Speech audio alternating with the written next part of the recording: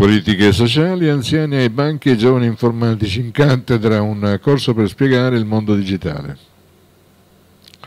Giovani in aiuto degli anziani nell'utilizzo delle tecnologie informatiche per guidarli nel mondo digitale. Si è svolto nel centro sociale Gottasanta di Via Foti un progetto realizzato dalla Fondazione Valdinoto, dall'Auser Siracusa dell'Istituto Superiore Quintiliano, con la collaborazione dell'assessorato alle politiche sociali e con il patrocinio del Comune.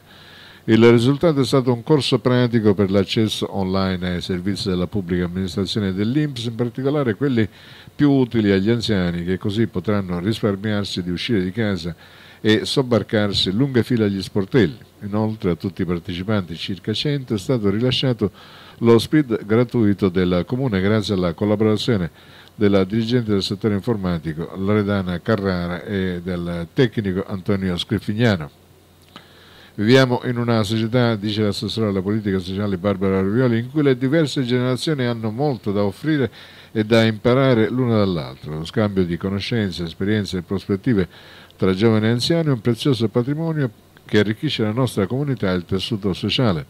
Promuovere lo scambio intergenerazionale non solo favorisce la comprensione e il rispetto reciproco tra le generazioni, ma contribuisce anche a combattere l'isolamento sociale e la solitudine, specialmente tra gli anziani.